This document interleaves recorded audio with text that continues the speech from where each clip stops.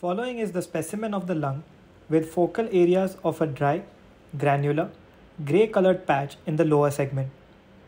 These features are indicative of lobar pneumonia. Pneumonia is a clinical condition involving acute inflammatory changes in the lung alveoli and parenchyma. It can be of three types lobar, lobular or bronchopneumonia, and interstitial. Interstitial pneumonia is also termed atypical pneumonia, commonly caused by viruses. The most common variety of pneumonia is the lobar pneumonia, which is caused by bacteria.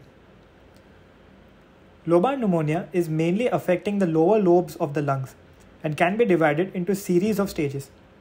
Stage of congestion, red hepatization, gray hepatization, and lastly, the healing stage or resolution. The stage of congestion, as the name suggests, involves initial inflammatory response to a pathogen, resulting in the lungs getting enlarged, heavy, and congested with blood and edema fluid. The cut surface of the lung might show frothy fluids. The second phase of red hepatization lasts for 2 to 3 days, and as the name suggests, the lungs adapt to look more like a liver. The affected segment becomes red and firm.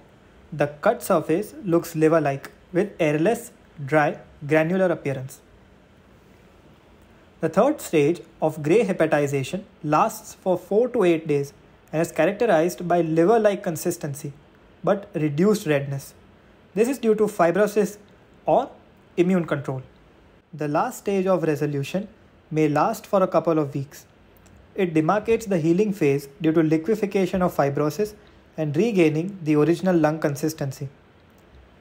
If the cut section at this time is taken, then we can see dirty red brown to yellowish creamy fluid oozing out of the lung capillaries and the alveoli during pressure. Pneumonia is a very common lower respiratory infection and hence requires a separate video in itself.